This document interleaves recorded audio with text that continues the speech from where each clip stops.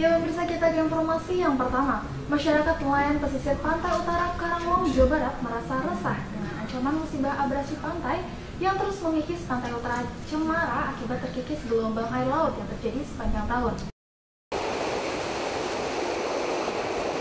Ancaman abrasi pantai utara pesisir pantai utara Cemara, Desa Cemara Jaya, Kecamatan Pedes Karawang, terus mengintai masyarakat pesisir pantai utara Kondisi pantai utara Karawang mengalami kerusakan yang cukup parah.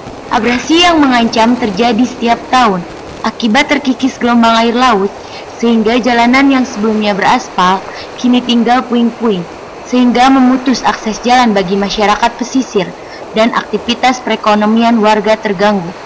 Hal ini sudah berlangsung setiap tahun sehingga daratan yang biasa digunakan untuk aktivitas dan tempat tinggal warga banyak yang rusak Kikisan gelombang laut setiap tahun bisa mencapai 3-4 meter dari bibir pantai. Warga pesisir pantai desa Cemara berharap pemerintah daerah dan pusat dapat memperhatikan ancaman abrasi pantai yang terus menggerus daratan wilayah mereka. Becek ya Pak ya? Iya, Ibel.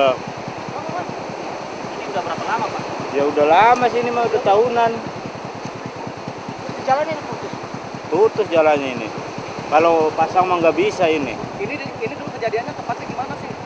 Ya ombak, ya ombak. Dari Karawang, Asep Kuswara Kemuning TV melaporkan.